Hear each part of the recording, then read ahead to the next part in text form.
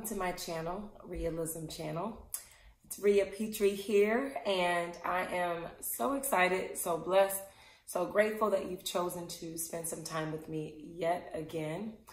You know, tonight, today, whatever time you should be seeing this is it's a special day. You know, it's been a tough week, and so I contemplated on whether or not I was gonna like stick with regular schedule programming and do my video because that's what I declared to do and da da da.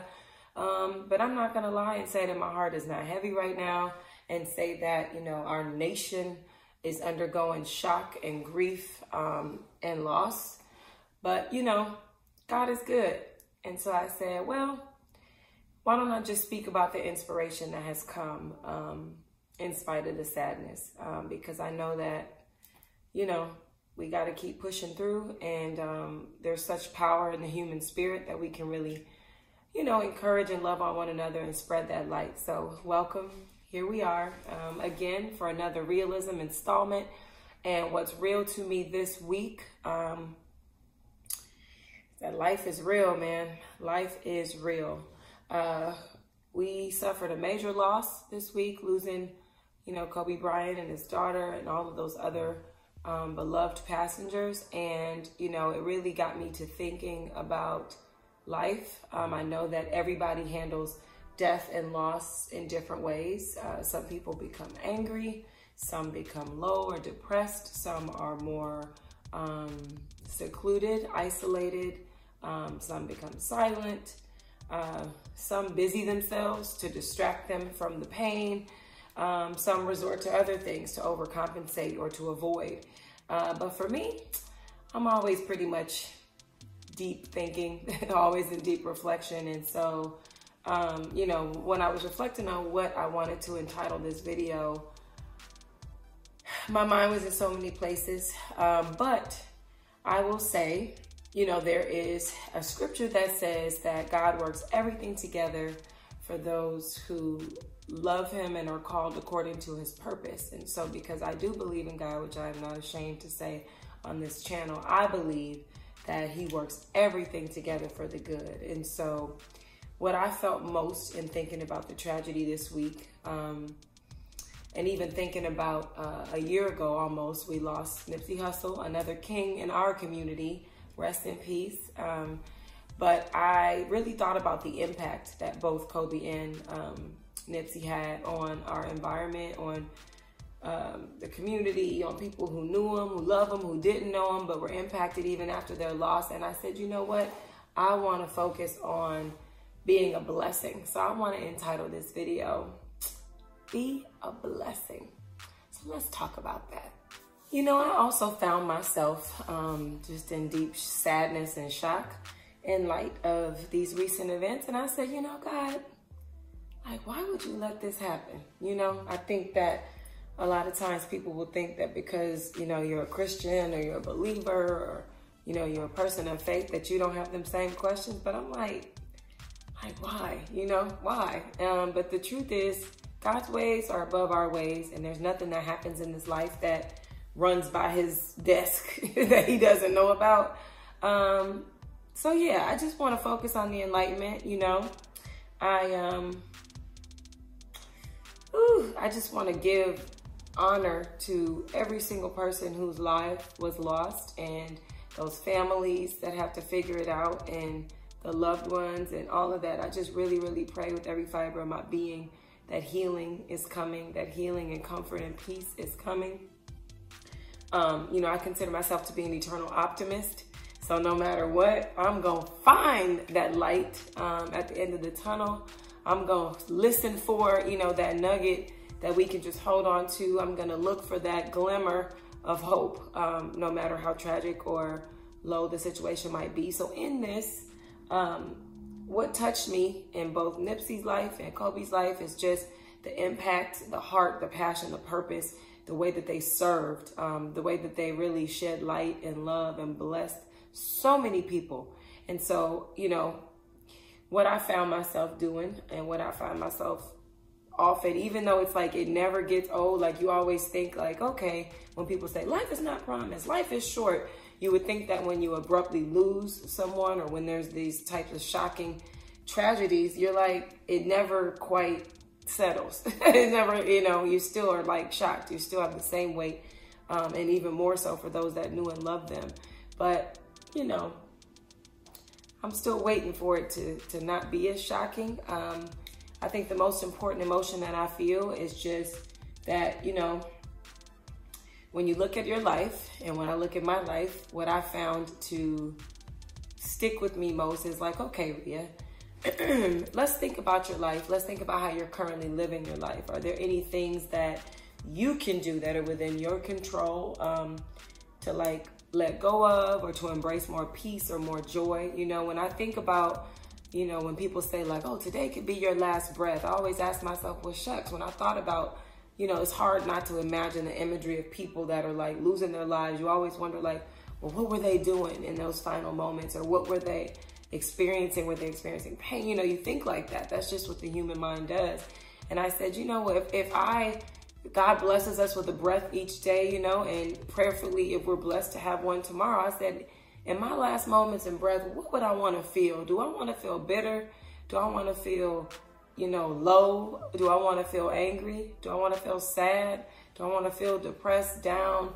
um, disappointed, discouraged. No, I don't want to feel none of those things.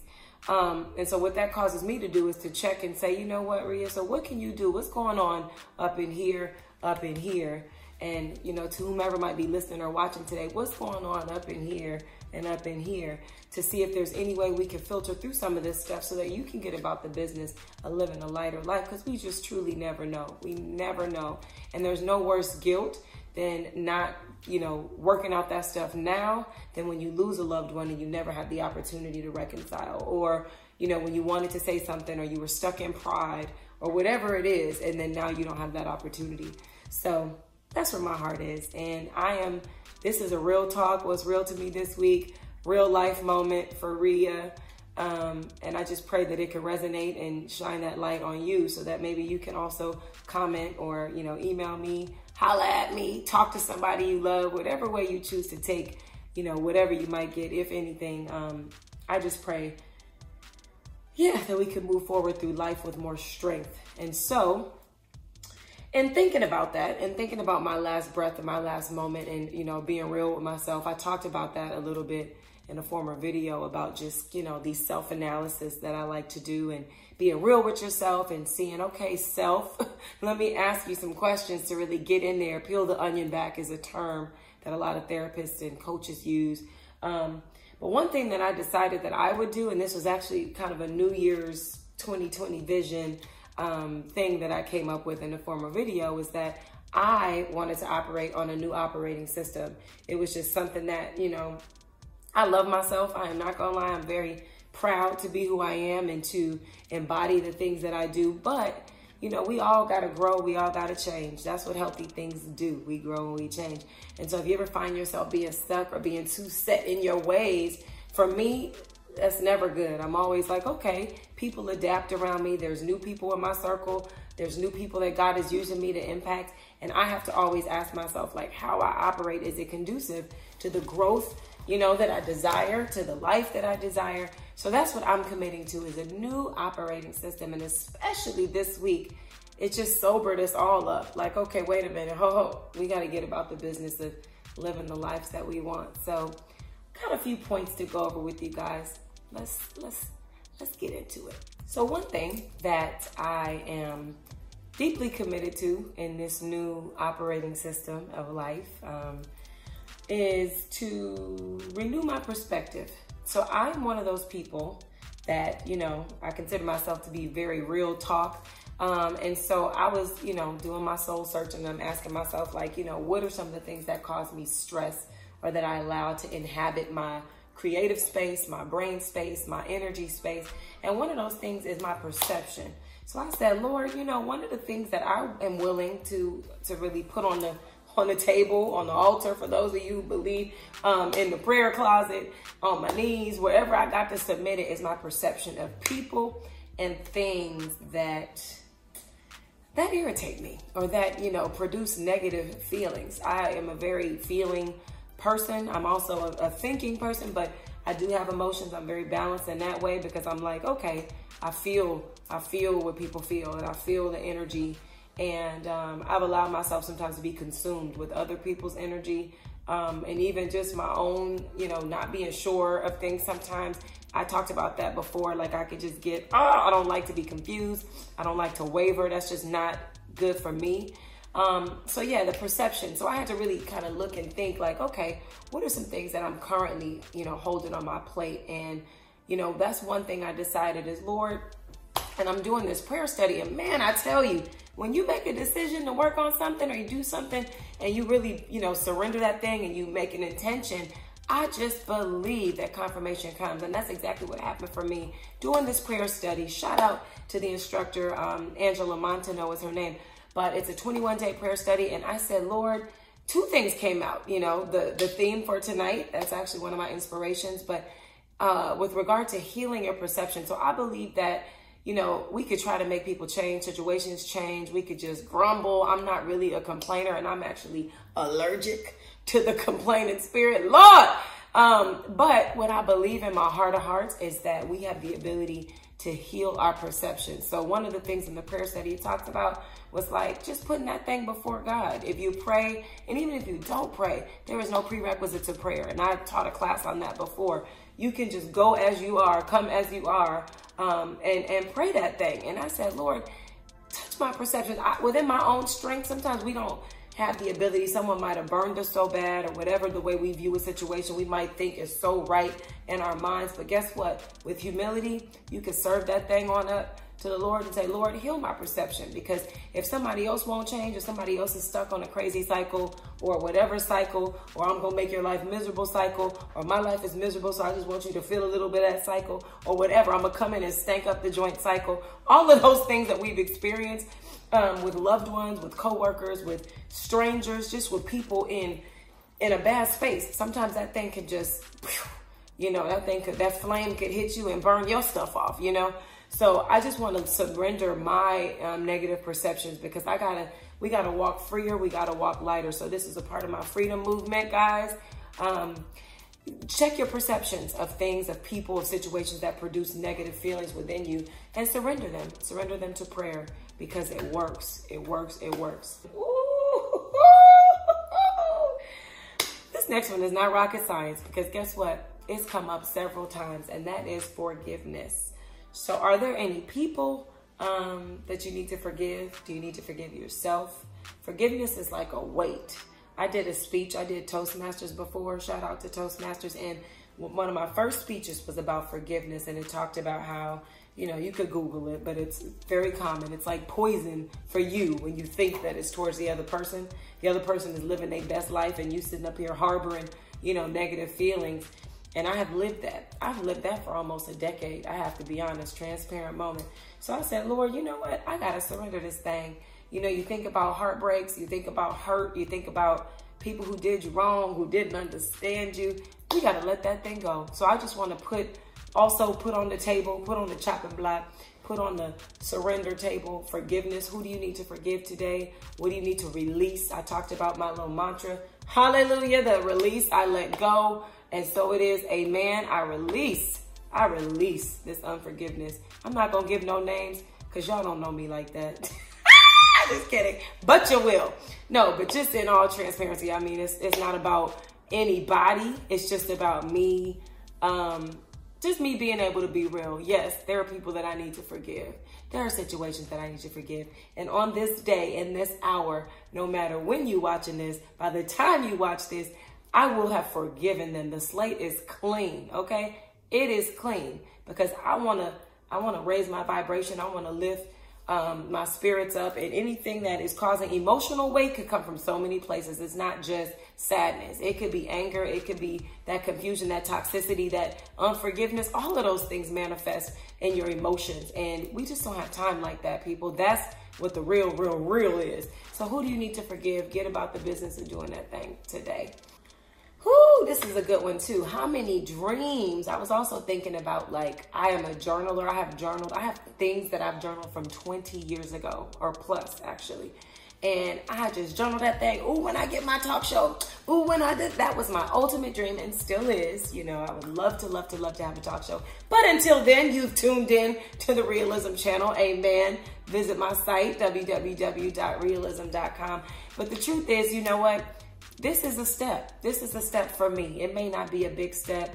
It may not be a glamorous step. I'm on my way. I believe in faith that God is aligning resources and people, um, you know, to help me. But in the meantime, this has been such a blessing to me. So thank you for taking the time to even listen to me. But my number one dream was having a talk show, having a blog, um, working with couples, working with individuals, doing speaking engagements, moderating panels, interviewing. That is my passion, is creating a safe space for people to share their stories. So guess what? I'm starting that thing in this season, okay? Pray with me, um, roll with me. If you hear of any opportunities, leave me a comment, reach out on my website. There, so send a smoke signal. I always talk about it. Any way you need to reach me, text me, all of those things. It's all on my website. You can get in touch with me. But, you know, I'm about living that thing today. I was reading through journal after journal, and when I get it, when I get it, people who love me in every job I've had, girl, when you get your show, girl, and I just love it because that has encouraged my soul. But guess what? Somebody over here had to take a step. So how many dreams are you guys sitting on? How many things have you declared that you were going to do? We may not be promised all of 2020. I hate to sound morbid in that way, but let's get about the business of like shaving those things away and then clearing our space, our creative space to say, what can we dive into and start today? So let's live our dreams today. So one other thing that I was talking about with um, the prayer study and being a blessing, and I even did a blog about it, so you can check out my blog. I actually did it uh, yesterday, or by this point, it'll be a few days ago, but www.rhealism.com. It's R H E A L I S M. You can click on blog, but it was entitled Be a Blessing. And guess what? You know, I am a definitions person. So I'm to read the definition. I just have always been that way. I love to like look things up and, you know, see what they really, really mean because, you know, we put our own meanings to things. But the definition of a blessing, there's two. And I'm to say, um, you know, what it is. A blessing is a beneficial thing for which one is grateful, something that brings well being. The second definition is a person's sanction, approval is what sanction means, or support. And those two resonated with me. There's other definitions, but those are the two that I am going to use. And I'm going to tell you why. So the imagery that I had, and even in the prayer study that was discussed, is like when you think about what it means to bless somebody, I know that um, the teacher was saying how sometimes, and I am notorious for saying this, would be like, oh, bless their heart. Bless their heart. And I think it's such a catchphrase for me. But when you really, really think about what it means to bring well-being to a thing or to um, you know, I, I would like to say give light to a thing. It just kind of convicted me in a way and it shook me in a way because I'm like, oh, when I be saying bless their heart, I don't necessarily mean like, Lord, shine light on their heart, you know, but that's moving forward what I will mean. So let me tell you, with what came to my mind is, okay, Lord, how can I bless those tough situations or those people that have broken my heart or hurt me or did something that I'm just not rolling with? Um, how can I bless those people in those situations? How can we bless those tough situations? Um, how can I bless people that irritate, anger, or disappoint me? So, you know, we either in a tough situation that we can't change or a person brings something to us that we can't control. How can we then give light to them? How can we do this? It's hard, honey. Let me tell you, I am not an expert on this, but this is what's real this week. This is what, whenever I learn something or whenever I'm putting something into practice, it's my goal, it's my job to share that. So that's what I'm doing. And then lastly, how can I spread light and love to those that I don't even know? I think that um, in this day and time, humanity, we have so much power. There's so much love, um, especially unfortunately in times of loss. I just feel that that connection with each other. So let's capitalize on that. Let's spread light and love to other people. Um, because some people, this might be the only light and love they get, you know? We just never, never know when our smile or when our text or when our last conversation with somebody will be the last one. So let's make it a good exchange. Let's make it a meaningful one. So I consider myself a woman of prayer. Um, and I thought, you know what, Lord, I got to keep it real with myself because I pray up in here. So as we close this video, um, it is my prayer that whoever is listening to my voice, whoever is watching this, that we can step outside of ourselves um, and just open our heart space, our mind space, Uh, change does not happen overnight, but if we could just open up ourselves to relief, to relieve ourselves of the hurt, of the disappointments, of the mistrust, of the just dependence on our way, um, on the old storyline, on um, feelings, pride, insecurity, fill in the blank. Whatever those things that we might need to open ourselves up to let God, to put that light on so he could see what's going on in there or so that we could see, you know. We're very intuitive beings. Um, we know when ourselves, when we're off. We know when we're not quite ourselves. And sometimes we might be so lost that we don't. But my prayer right now is that your heart space will be open to it because as long as there's an openness, as long as there's a crack, that's it. That's it. Um, change can come. So I pray right now that we can be open to that. I pray that um, that we would make it a point to consciously shed our light. Everybody on this planet has light, no matter what we think. We all have a light. So it's my prayer that we would shed that light on some situation. We all just think about it. We take a moment of silence. Think about a situation a person, a, a thing from the past, a current weight, irritation, whatever. You fill in the blank. I don't care because I'm not here to judge. I got my own baby and it ain't one. Um, but let's just surrender that thing. Let's think about how we can shed light on it so that we can get about the business of freeing ourselves and living life in a more enriched way and not one that perpetuates some cycles that just aren't healthy for us. So I pray that. Um, and then I pray that as we move forward with more appreciation for life, um, and the way we experience life, the way we experience each other. Let it be in love. Let it be in truth. Um, yeah, even if we can't bring ourselves, I'm guilty of this. If we can't bring ourselves to like pick up the phone right now and say, hey, I forgive you. Even if you just start the, the way that I'm going to do it, just start even in our heart space and say, you know what? I don't hold any malice. I don't hold any ill will. Um, Lord, just direct my steps. It's a day by day thing. Open my heart space. You give me the instruction. I may not have the strength to just reach out today. It's okay. No judgment. It's all about what you're holding in here. So let go of that toxicity in here. Make the decision in here and just be open. And I can't wait to hear the testimonies rolling in, guys. So I love you. Thank you for joining me. Like, subscribe, comment. Um, I'm going to continue to pray for those of you that pray um, with me. Let's just join our faith together, our love together. Let's treat each other well. Let's spread light because I believe, you know, we pray, pray, pray and ask God, Lord, bless me with this. God, bless me with this. Universe, bless me with this. But I don't know how much we pray, hey, use me to be a blessing. And I'm going to stop throwing that bless your heart around. I'm going to really think, how can I take the light, even if it's a glimmer? How can I take the glimmer of light within me and drop it on the situation? So that's it. Thank you for joining me. I'll uh, catch you guys next week. Peace.